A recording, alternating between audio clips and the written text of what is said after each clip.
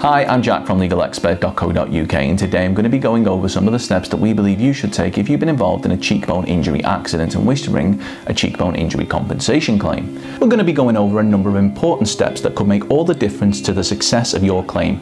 If at any point during the video you have any questions, we have a free phone helpline where you can talk to one of our team on a no obligation basis where they'll aim to get you the help that you need if you've been the victim of negligence.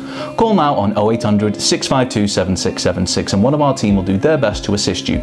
Don't forget to hit that like button and subscribe to our channel. Now before we continue on with the video, we want to know if you were ever involved in an accident, would you consider using a personal injury claim solicitor to help pursue compensation? Let us know in the comments below.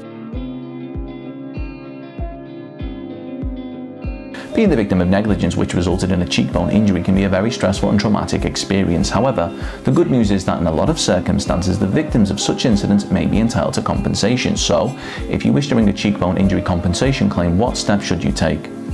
It's important to get yourself checked out and have your injuries assessed by a medical professional as soon as possible after the accident. Not only will this mean that you'll receive the appropriate treatment, but also your attendance is evidence that you can use to show you were injured. In terms of the claims process, records from the medical assessment may be used as evidence to help demonstrate the severity of your injury. When it comes to gathering evidence, it's important you speak to anybody who may have witnessed your accident and ask for the contact details. Take photographs of the accident location and what specifically caused your injury, as well as making a note of whether there are any CCTV cameras covering the area in which the accident occurred. And you must, if possible, ensure that an accident report is completed. These steps are all steps that should be taken in the immediate aftermath of an accident and depending on the circumstances, the order in which these are done may differ.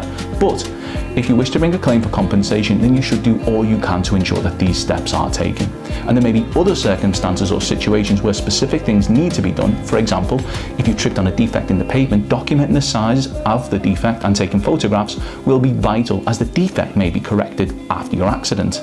When it comes to bringing a claim, we recommend that you contact a no-win, no-fee cheekbone injury compensation claim solicitor like ourselves, legalexpert.co.uk. Enlisting the services of a no-win, no-fee claim solicitor means that as long as you're honest in your account of how the accident happened, you can get a professional working on securing the compensation that you deserve for your injury right away without having to worry about paying any upfront fees. Call now on 0800 652 7676 or use our live chat service at legalexpert.co.uk. We're open 24 hours a day, 7 days a week, and we offer a completely free, zero obligation consultation. We will talk through the incident with you in order to help you establish whether or not you have a claim.